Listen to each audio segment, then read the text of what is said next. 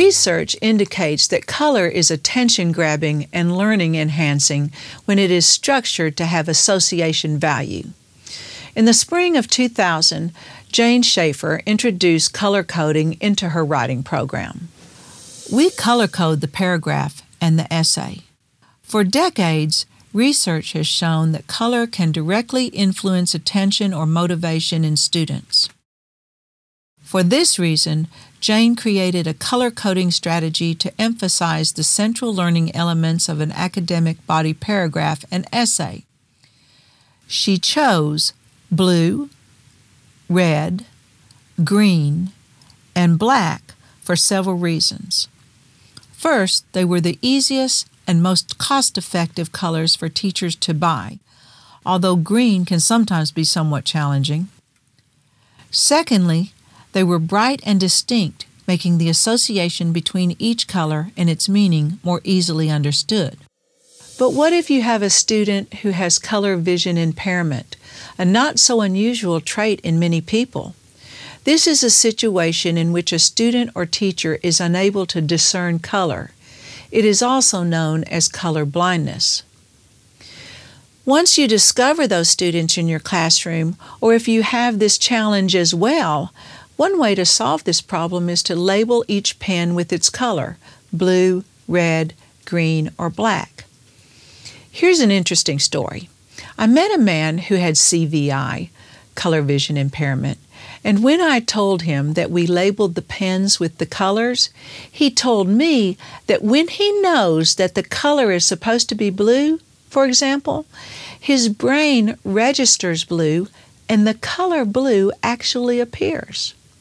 I thought that was an amazing discovery. Another way we help students solve this problem is to have them draw symbols in front of each sentence.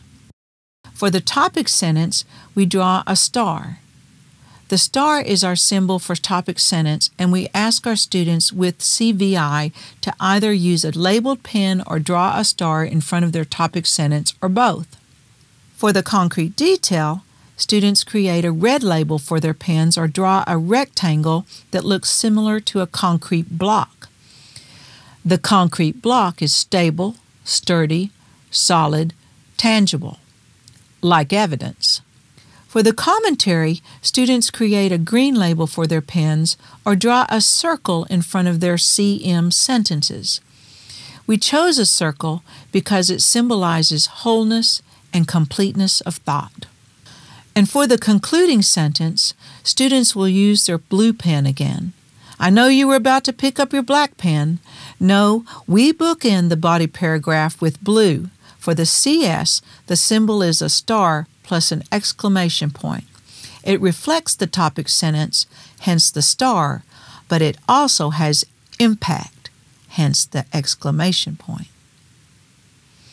For the body paragraph, we use red, blue, and green. Black is used for the introduction and thesis, the conclusion, and lead ins for embedded quotations. For argumentation, we use black for the concession, the counter argument, and the refutation.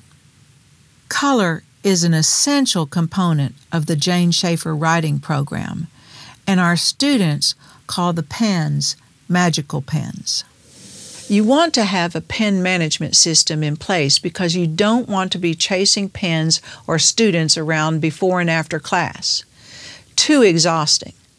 The challenges are minimal if managed well, and the rewards are well worth it.